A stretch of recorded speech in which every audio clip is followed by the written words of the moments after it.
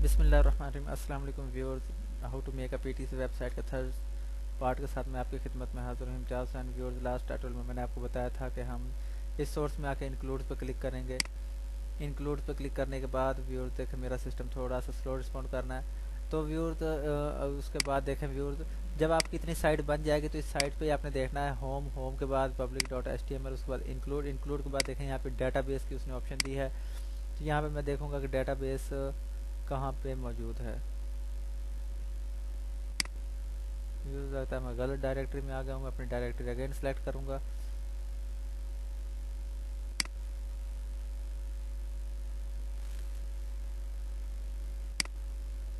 Public H से बाद यहाँ पे इंक्लूड्स इंक्लूड के बाद ये देखें डाटाबेस डाटाबेस के बाद देखें, यहाँ पे उसने थर्ड ऑप्शन दी थी database I N C dot P H P तो व्यूअर्स यहाँ पे देखें एडिट की ऑप्शन मौजूद है, मैं इस एडिट पर क्लिक करूँगा। जैसे ही मैंने एडिट पर क्लिक किया, ये देखें, इसने यहाँ पे मुझे इस तरह का एक फॉर्म दे दिया है। तो व्यूअर्स यहाँ से सबसे पहले मैं अपने देखें, यहाँ मेरा लोग माई एसक्यूएल होस्ट का नेम ये था, मैं इसे यहाँ से कॉपी करूँगा। कॉपी करने के बाद मैं इसे यहाँ पे लोकल होस्ट की जगह पे पेस्ट कर दूँगा। पेस्ट करने के बाद व्यूअर्स यहाँ से देखें, मैं माई एसक्यूएल डेटाबेस को मैं यहाँ से सिलेक्ट करूँगा। और यहाँ पे देखें व्यूअर्स मेरी सेकंड ऑप्शन है यूज़र डीबी डेटाबेस में से पेस्ट कर दूँगा, उसके बाद देखें यूज़र यहाँ यूज़र लिखा हुआ रूट उसमें मैं यूज़र क्योंकि मेरा यूज़र भी यही था तो मैं इसे सेव कर दूँगा। उसके बाद यहाँ पर मैं अपना पासवर्ड दूँगा।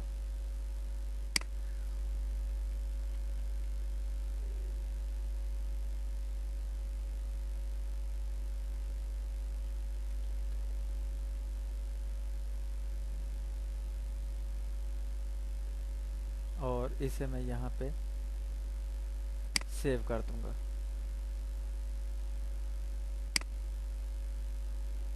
देखें व्यूअर्स ये हमारा सेव हो चुका है। सेव होने के बाद व्यूअर्स मैं इस पर दोबारा क्लिक करूँगा। ये देखें हमारे पास इसकी एक ऑप्शन आ चुकी है।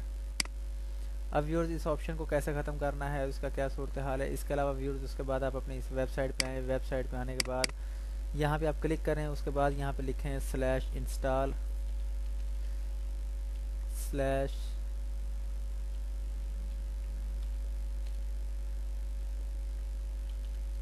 install dot P H P जब आप इतनी ये व्यूर्स लिखेंगे देखें ये उसके बाद पूछेगा यहाँ से आपका होस्ट नेम तो यहाँ से आप अपने अपना लोकल होस्ट सेलेक्ट करना है, जो भी आपका लोकल होस्ट था।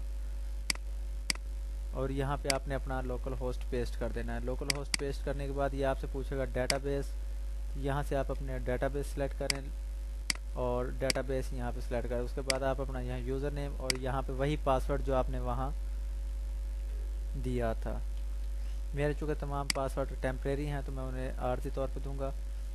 ये देखें viewers user name admin user name के आया एडमिन इसमें लॉगिन करे तो वो किस यूज़र नेम से एडमिन करे? तो मैं अपना दूँगा एडमिन का पासवर्ड यहाँ से आप वही यूज़र नेम देंगे। जो आपने वहाँ दिया था। साइट नेम के आया यहाँ पे देखें व्यूअर्स मुख्तलिफ़ तरह की साइट्स थी, जैसा कि you are on box V four यहाँ तो लिखा हुआ है, लेकिन जैसा कि आओ कमाओ dot com earn for visit for earn earn for visit like तो मैं इसका एक यूनिक दूँगा आप कमाओ। साइट लॉगिन अर्न मनी पर सेकंड है।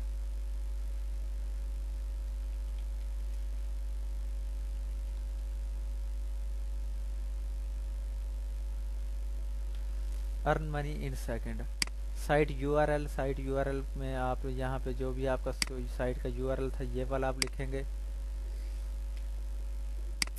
इसे आप यहाँ से कॉपी करके पेस्ट कर लें। पेस्ट करने के बाद अलर्ट पे अलर्ट पे अगर आपके पास है तो ठीक है, नहीं है तो उसे क्लिक करते हैं। अलर्ट पे कोड अगर आपके पास है तो ठीक है। एड्स टाइमर तो व्यूअर्स वहाँ देखें किसी वेबसाइट पर तीस सेकंड का टाइम चलता है, किसी पे बीस पे, किसी का दस सेकंड का।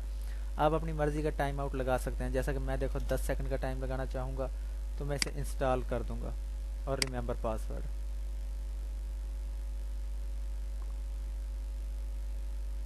सॉरी व्यूअर्स यहाँ मेरा थोड़ा सा मसला आ गया है। मसला ये था कि मैंने यूज़र नेम का पास नाम नेम गलत दे दिया था तो मैं इसे अगेन एक दफ़ा एंटर करूँगा।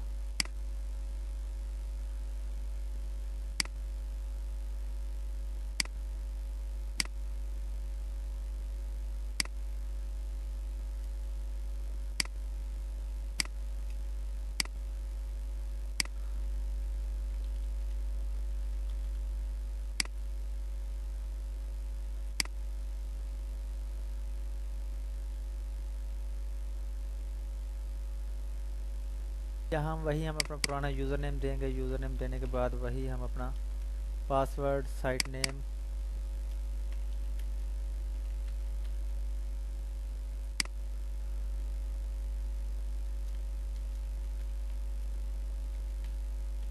free earn site URL